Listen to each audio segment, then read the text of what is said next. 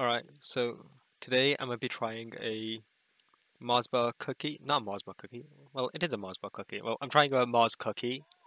Um, as you can see, it's it's uh it's brown. It is brown, and it's got stuff inside it. I'm gonna I'm gonna give it a try. Uh, hmm. Does smell like a cookie, a chocolate cookie. Alright, let's try a bite.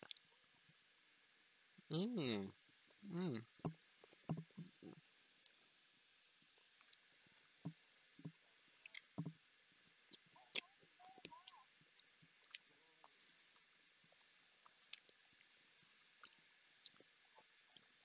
So, uh, it's a bit soft.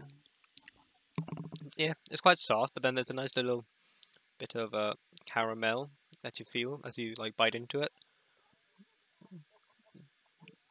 Mm.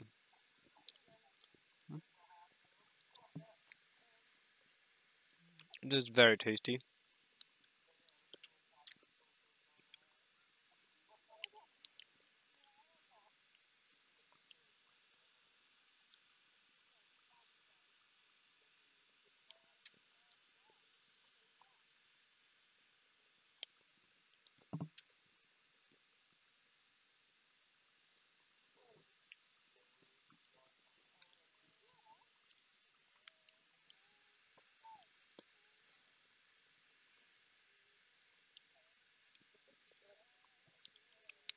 I'll be honest, guys. Uh, the Mars bar cookie isn't as good as a Twix cookie. To be fair, it's not really that great. It's okay. Like, it's still a cookie. Like, you can't get bad cookies unless they have raisins in it.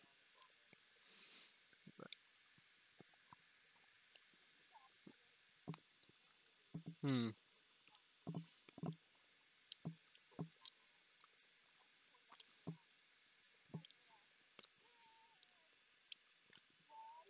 To be fair, I don't think Mars bars were ever top the best of the chocolates. Um, that's shown in the cookies as well.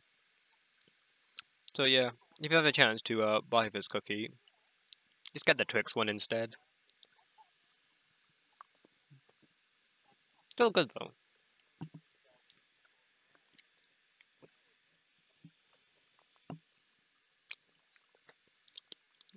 Feel free to like and subscribe for more cookie reviews.